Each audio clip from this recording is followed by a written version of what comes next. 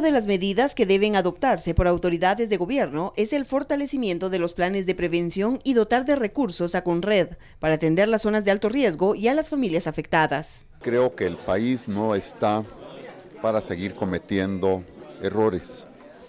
Ciertamente hay que entender y comprender que Guatemala tiene riesgos con el tema climático, con áreas que están en riesgo, y ahí hay que tomar soluciones y resultados.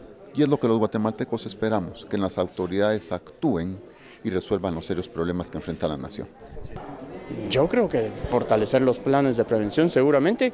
Yo no veo situaciones tan críticas en el país que merezcan este tipo de medidas, ¿verdad?